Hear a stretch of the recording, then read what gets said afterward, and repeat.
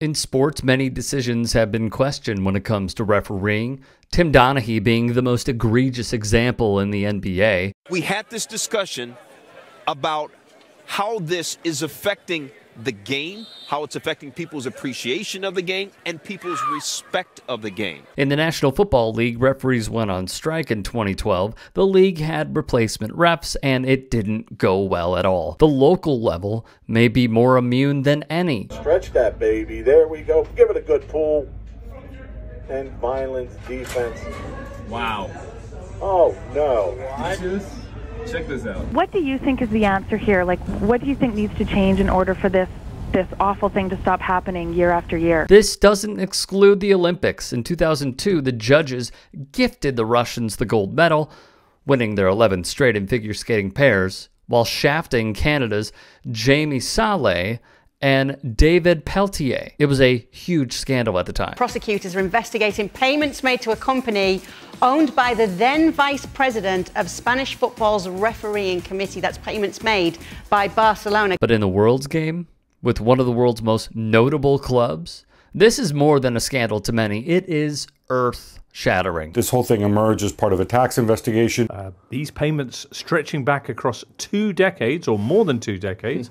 They total more than 7 million euros to this individual. That individual is this man, Jose Maria Enriquez Negreira. Barcelona say that, oh, well, we were simply paying this guy um, because as a former referee, uh, he, he gave us technical advice, showed us examples with the rules. Uh, you know, basically a consultant for referees, which is not uncommon. I mean, Real Madrid have a guy who does it too. The big difference here is that uh, the guy who does it for Real Madrid is not an active referee.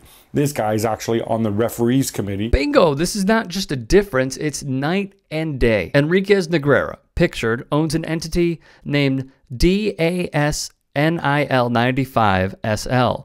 He is a former referee and important member of Spain's Referee Technical Committee. This all went down because the prosecutor's office in Barcelona investigated DASNIL for corruption between individuals, according to the report. It started because of a treasury inspection into tax irregularities with the payments. I don't think you should be paying anybody that's involved with the domestic league that you perform in as a player or as a club. What rang the alarm was Negreira allegedly did not provide receipts of payments he provided as a service to the Catalan club. The club did admit they'd employed an external consultant who provided reports related to professional refereeing before condemning the timing of the story, which came out prior to Barcelona's clash with Manchester United in the Europa League. To reiterate, and we want to make this very, very clear to show the polar opposites in Barcelona's alleged approach for their mishandling and other clubs.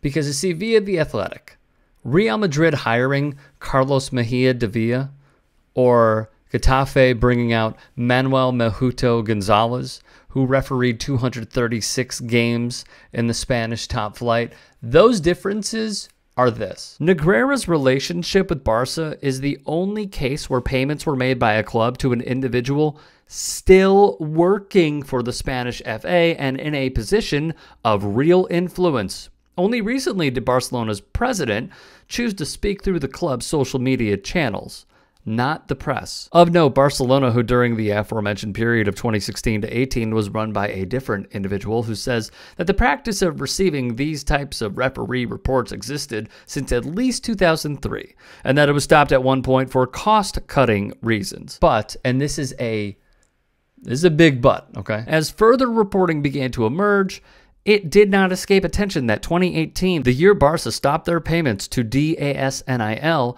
was the last year Enriquez Negreira worked in his role. The referee denies currying favors to Barcelona.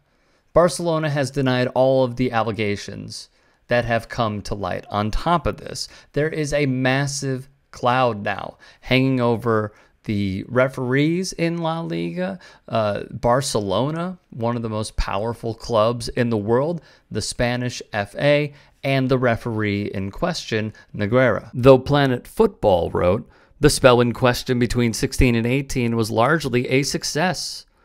especially on the domestic front. Between 15 to 16 and 17 to 18, the club won a total of eight trophies, including two league titles and three Copa del Reys.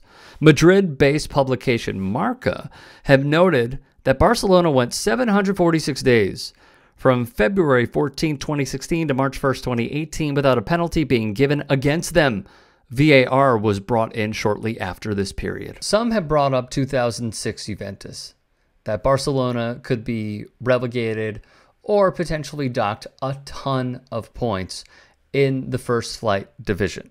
One source at the Spanish FA told The Athletic it's going to be extremely difficult to prove how the club could have possibly benefited from refereeing.